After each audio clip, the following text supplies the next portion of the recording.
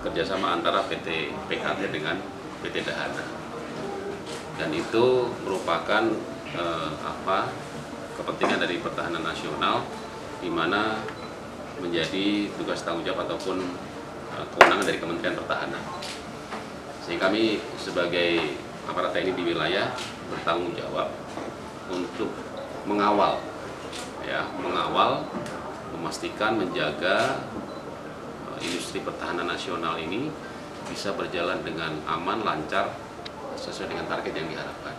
Terkait dengan PT Wika sebagai kontraktor yang menjadi apa eh, ya kontraktor dan PT Kan ini tadi sudah banyak dijelaskan oleh Pak Hadi sebagai project manager. Eh, Saya pastikan bahwa seluruh prosedur mekanisme sudah dilaksanakan.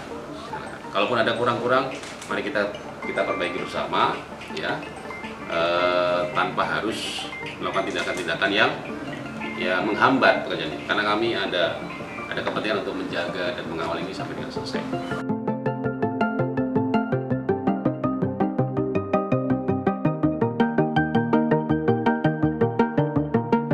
untuk menjamin quality. Jadi nanti di proses akhir nanti kita ada yang namanya apa sertifikat layak operasi atau SLO yang itu nanti akan diterbitkan sama Disnaker ya Pak ya ada dari Kaltim.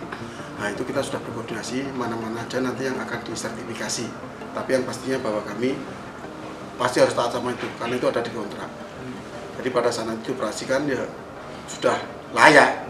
Sejak awal kami terlibat dalam ini, ya kan. Nah, saat-saat injury time inilah ini waktu untuk krusial, makanya kita hadir ke sini langsung untuk apa menjamin bahwa ini terlaksana sesuai dengan jadwal. Dari awal sebenarnya PT Kan sudah apa namanya sudah apa, dengan Mika ini sudah berkoordinasi dengan kami. Kami memantau nah, pada saat injury time ini seperti inilah tinggal 4 bulan di mana target yang harus dicapai sekian persen ternyata kok apa namanya masih kurang nah, kita dorong betul supaya tepat waktu karena ini pun menjadi atensi dari pimpinan pusat